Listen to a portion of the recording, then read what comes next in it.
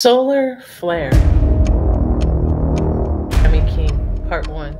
I looked up at the sun, and he was frowning. His voice was like a fairy ball of flame. He told me that the planet Earth was drowning, and mankind thinks, he said, that I'm too. I've been here, burning constantly, forever.